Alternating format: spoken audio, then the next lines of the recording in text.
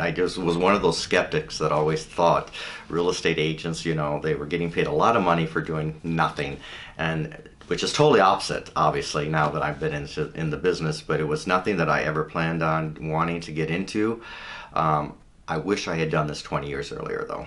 Getting into real estate was totally not planned. It just kind of happened and fell into my lap. I was in corporate America working in human resources for another corporate um, business here in, in uh, Northville, and they eliminated my position. So they offered me to relocate to Minneapolis, St. Paul, and I chose not to do so because Mason was a senior in high school. Um, and I kind of was like, what the heck am I going to do? And so some of the options I had were to either go back into corporate America and try to find another HR position. Um, I had a few friends of mine that were realtors um, that worked for an agency out of a brokerage out of Ann Arbor.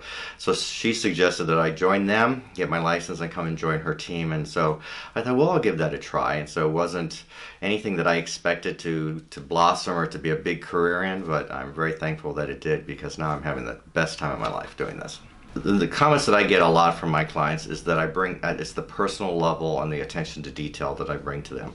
Um, my clients don't feel like that I force them into signing any documents. They don't feel pressured by me, um, and I think that's been my personal brand when I've been dealing with my customers. That we stay in touch afterwards, you know, and, and I'm we, we, we write each other, we email each other, we, we call each other because of that connection. I think it's important to make that personal connections with your clients so that you can build that mutual level of respect and trust.